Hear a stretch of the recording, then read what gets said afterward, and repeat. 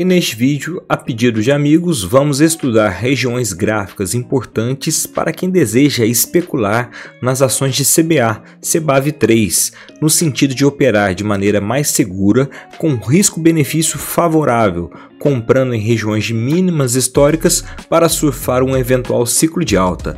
Meu nome é Ricardo Bravo e te convido a me acompanhar nesse estudo, então vem comigo! E a partir da análise de sua commodity vinculante, os futuros do alumínio, podemos ver que o preço ele chegou naquela zona de resistência que citamos no vídeo anterior, que inclusive deixarei aqui nos cards. Então esse processo de lateralização finalmente pode é, combinar com um rompimento dessa faixa para que o alumínio possa estar sendo negociada em uma zona superior a essa. Porém, ele situa-se dentro de uma zona de armadilha. O que, que seria isso? Nós temos a média de 200 flat e a média de 20 flat, ou seja, uma indecisão do mercado. Um ponto positivo que o RSI ele está no, é, na ponta compradora, num ângulo ascendente, ainda não entrou em sobrecompra, ou seja, tem espaço para crescer. E o volume financeiro ele vem de certa forma crescendo. Então pode ser que esse movimento aqui realmente venha a fazer um rompimento no sentido de levar o preço para um nível superior.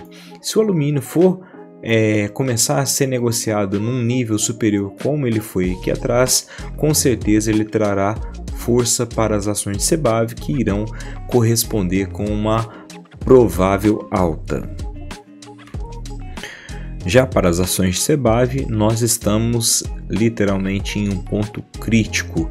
Esse ponto crítico é justamente aonde o preço encontra, através de uma alta expressiva, a média de 20 de tendência que está apontada em ângulo agudo, na forma baixista e confluente com a cabeça do pivô que deu a origem a esse movimento de baixa. Então nós temos aqui uma dupla resistência da média e da cabeça do pivô. O que, que nós temos que esperar neste momento aqui no sentido para ter uma segurança compradora? Teríamos que esperar justamente um rompimento com um teste de cima para baixo, fazendo um pivô ascendente. Esse pivô ainda não aconteceu, nós tivemos apenas um movimento sem correção nesse sentido e ainda não tivemos uma correção com rompimento de um topo para a formação de pivô. Realmente temos um fundo formado aqui, confirmado tecnicamente, porém o volume financeiro está bem pequeno aqui, tem, temos uma contração de volatilidade. E temos que esperar nesse caso a formação deste pivô ascendente aqui, que pode ser, na melhor das hipóteses, rompendo essa resistência que se situa aqui na faixa dos 4,51, fazendo justamente um reteste de cima para baixo para que você possa entrar de forma é, compradora, na ponta compradora, no sentido a favor de um eventual repique ou tendência.